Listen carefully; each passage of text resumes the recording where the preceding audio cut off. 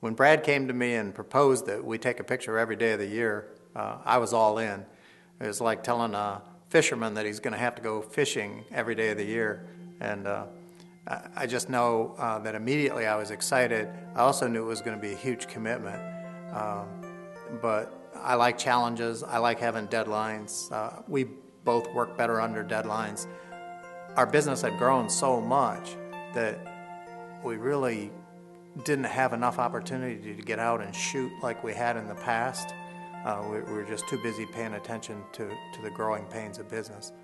And uh, so this was a way to force us to get off the couch and out the door, and, and out we went, and it was a wonderful experience.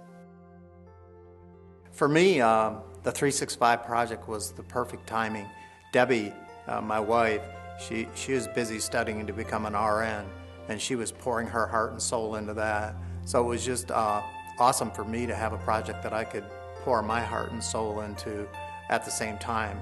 And uh, it was kind of a situation where it was good for me to get out of the house and allow her um, personal time to study. And on the other hand, it was, it was great to just uh, have uh, wonderful moments together after we both had worked hard at, at pouring our heart into our work. 365 for me was such a personal journey. A lot of times it was a lone journey.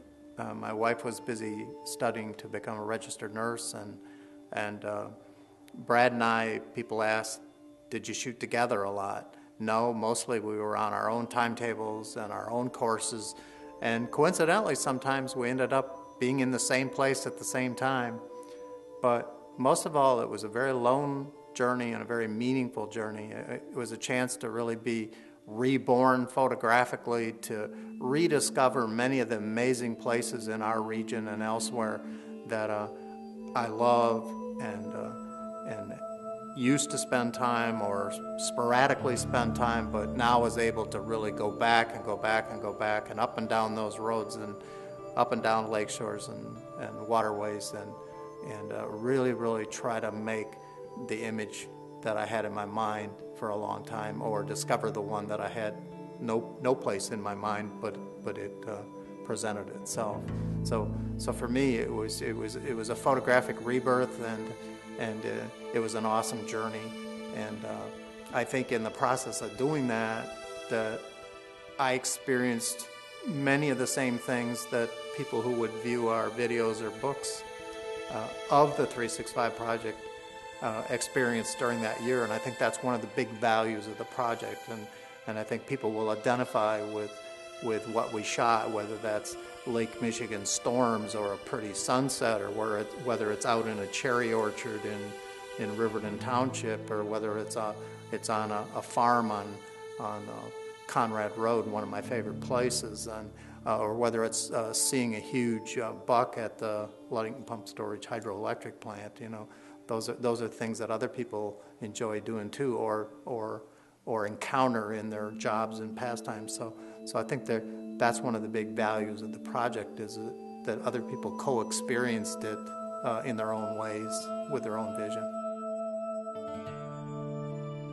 365 began, my first image of the year was the ball drop, intersection of downtown Ludington, several thousand people gathered, all watching this uh, lighted ball coming down into the intersection uh, at the main corners of Ludington and it was a very amazing man-made experience. That many people gathered in a small town. It was very Norman Rockwell, and I think the image captured that.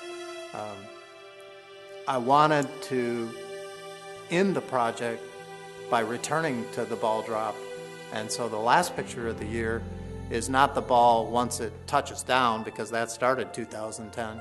It's the ball coming down, but it hasn't yet hit, and and and that picture had even more meaning for me because I had put my heart and soul for a year into shooting these 365 pictures. And now before me, I had a rerun only with now instead of 4,000 people, there were probably seven, eight, 9,000 people gathered in the street. And the picture was even more beautiful, and the ball is dropping and it's framed against the black sky. And uh, and it, it reminded me of Ansel Adams' picture of moonrise over Hernandez, New Mexico. It was just a kind of a, a very, very spiritual picture, and it, it just said a lot about life and humanity.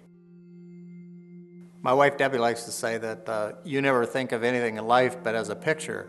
And uh, saying that to me uh, was not a criticism, it's just a, a, fact. I'm so visually oriented. I love seeing and experiencing the uh, peak visual moments of my life. And, uh, and so does Brad. And, and I thank Brad for the opportunity to get out there and, and really experience uh, so many great visual moments in 365 different days. And there's so many images that aren't in the book that didn't make the cut that were still amazing experiences and uh, and uh, and many of them uh, great peak moments just uh, didn't didn't uh, didn't make the cut, but they're they're uh, in my mental diary. You know, some people are hunters and some people are fishermen. Um, for Brad and I, we can be both of those, but most of all, we're photo hunters.